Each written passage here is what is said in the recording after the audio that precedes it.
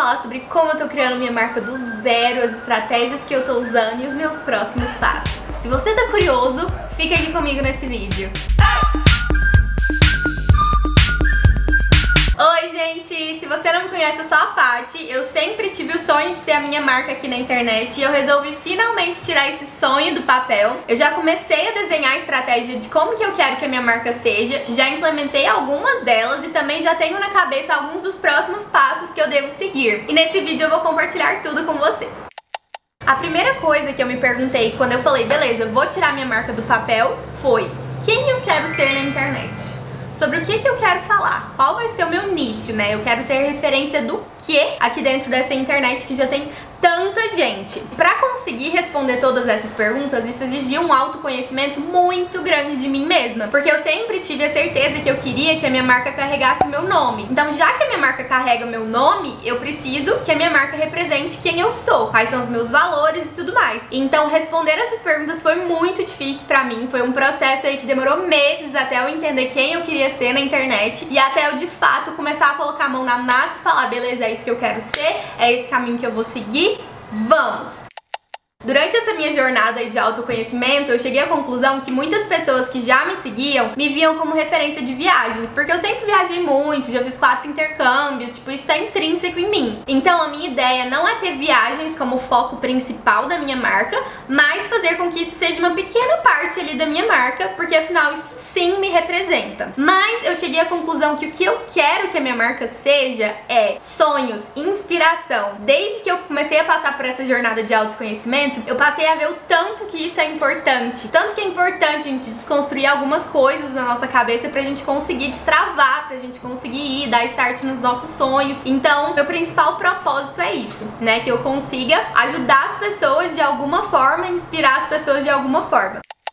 Sabendo disso, eu consegui me libertar e começar a finalmente desenhar as estratégias da minha marca. Então, um dos primeiros próximos passos aí que eu fiz foi definir a identidade visual da minha marca, quais são as cores que me representam, como que eu quero que as pessoas me vejam, porque afinal minha marca, querendo ou não, quando você olha para um perfil, aquilo lá é vitrine da pessoa, né? Então, quando vocês olham para minha vitrine, como que vocês me enxergam, né? Quais cores que fazem parte ali da minha marca? Eu queria que vocês só de bater o olho numa foto já ver e falar, hum, essa foto é da Paty, porque essas são as cores dela.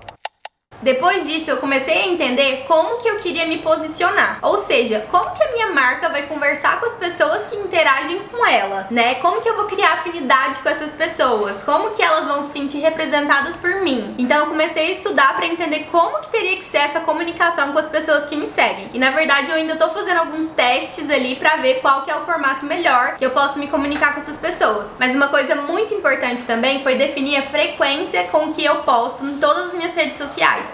Isso é extremamente importante para os algoritmos aí das redes sociais, porque não adianta nada eu começar postando três posts por dia no Instagram, vídeo todo dia no YouTube e não conseguir seguir essa rotina. Então eu defini ali uma quantidade de posts que eu sabia que eu ia dar conta com a minha rotina para eu não ser prejudicada depois. Então eu defini que no Instagram eu postaria todo dia um post, com exceção de sexta e domingo que eu posto dois. E no YouTube antes eu postava só uma vez por semana. Eu decidi aumentar essa frequência para duas, porque eu vi que tava cabendo isso na minha agenda, né? Postar dois vídeos no YouTube sempre, toda semana. E isso, no fim das contas, começou a ser muito bom pro meu canal, porque o YouTube começou a divulgar cada vez mais meus vídeos e tem cada vez mais pessoas novas chegando por aqui. Então é muito incrível, já ver uma estratégia que eu resolvi implementar me trazendo os resultados ali.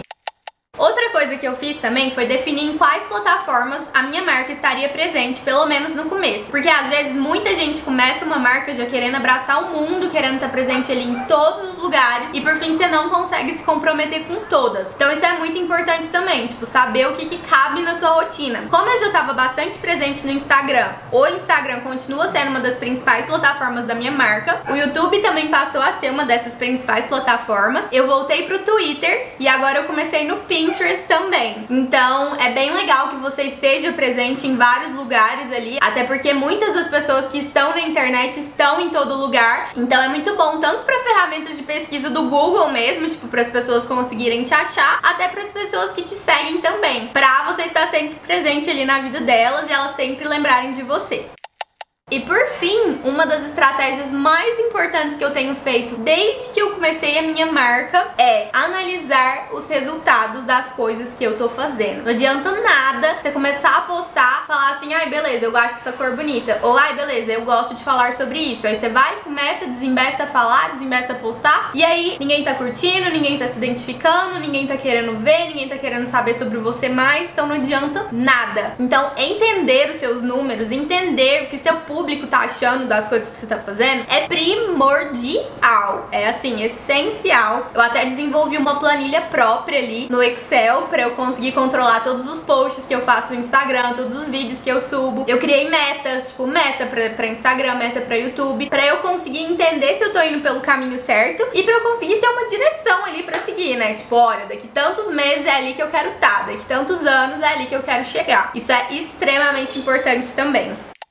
E agora falando de próximos passos, eu tô muito empolgada pra falar isso porque é a primeira vez que eu vou contar, mas eu estou construindo meu blog, meu blog tá em construção. Eu decidi que eu não queria pagar uma pessoa pra fazer uma plataforma ali pra mim, um site, que não tivesse a minha cara e não fazer parte de nada do processo, então eu que tô construindo meu blog, cada cantinho do meu site, cada botãozinho que vocês vão apertar ali, eu que tô escolhendo a cor, tudo, a fonte, então eu que tô construindo meu blog blog. Obviamente eu não sou nenhuma entendida desses negócios de sistema, de blá blá blá blá, nem, não sei nem usar os termos certos aqui. Então eu tô fazendo um curso online pra eu aprender a fazer meu blog, mas sou eu que tô fazendo tudo com o maior carinho e amor. E em breve o meu blog estará no ar, conectando todas as minhas plataformas, todas as minhas redes sociais e ainda mais conteúdo pra vocês. Eu tô muito empolgada com o meu blog porque ele tá ficando lindo, tá ficando a minha cara. Tô muito feliz com ele. Óbvio que eu tô demorando mais do que o normal, né, pra conseguir fazer tudo, porque além de ter que seguir com toda a minha rotina, né, de tudo que eu falei pra vocês, eu ainda tô desenvolvendo meu blog. Então por isso ele vai demorar um pouquinho mais pra sair, mas ele vai sair, gente.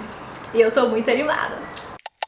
Sobre a minha marca, por enquanto é isso, gente. Eu dei aí uma pincelada em tudo que eu tô fazendo. Eu não entrei em detalhes em nenhum dos assuntos que eu falei aqui. Então, se alguém tiver interesse em saber, por exemplo, sei lá, como que eu edito minhas fotos, como que eu me programo pra postar um conteúdo no Instagram, qual que é o meu processo criativo pra eu gravar vídeo, como que eu decido qual vídeo que vai ter, qual que não vai ter. Enfim, se alguém tiver interesse em alguns desses assuntos específicos, vocês podem deixar aqui nos comentários que eu super vou ouvir. Mas nesse vídeo eu só queria contar pra vocês mesmo como que tem sido esse processo, porque agora que eu já comecei, né, principalmente lá no Instagram, eu recebo até que bastante mensagem de pessoas me perguntando, nossa, como que você faz isso, como que você se planeja, enfim, algumas perguntas relacionadas a isso. Então por isso que eu resolvi gravar esse vídeo. Espero que vocês tenham gostado, espero que vocês acompanhem aí comigo esse processo meu de evolução, que tá sendo uma grande evolução mesmo. Esses dias eu tava vendo o primeiro vídeo que eu postei aqui no YouTube e eu ri demais. Então o legal é isso, né? É ver a nossa evolução e ver até onde a gente consegue ir. Se você gostou desse vídeo, não se esqueça de deixar um like aqui. Aproveita pra me seguir lá no Instagram, arroba